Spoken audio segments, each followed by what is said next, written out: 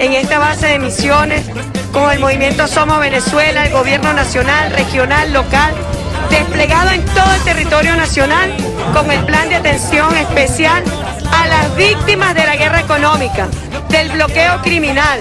No han podido con nosotros ni podrán.